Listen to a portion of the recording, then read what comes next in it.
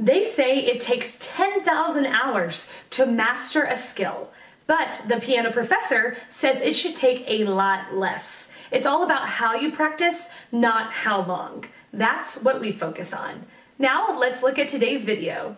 The question What are the advantages of learning piano? There are countless benefits to learning to play the piano. There have been many studies which have shown an increase in test scores in math and English for children and young adults who studied the piano including University of California, Irvine study headed by Gordon Shaw as well as the University of California Berkeley study.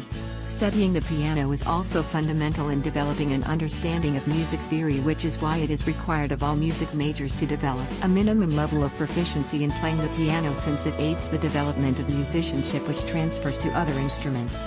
The vast majority of composers and conductors depend upon the piano in order to develop their art, but studying the piano has many other benefits. Piano is one of the few instruments that can be enjoyed playing with other musicians as well as solo. Most instruments can only play one note at a time. So, it is necessary to play with other musicians in order to fully enjoy playing.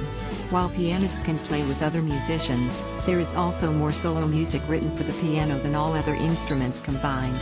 So, anyone can enjoy playing the piano with others or by yourself. Not only that, but other instrumentalists depend upon pianists in order to enjoy playing.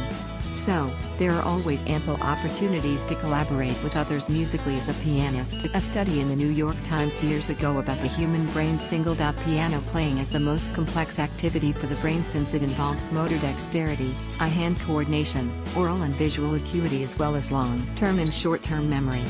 So playing the piano can help to alleviate mental degeneration as well. Here is an article and video that explores why everyone should learn to play the piano. Why everyone should learn to play the piano You should learn the piano. Learning the piano without spending decades on it is about working smart not hard. You can access the Piano Professor pack in the link below. It focuses on abusing diminishing returns to get the best results possible.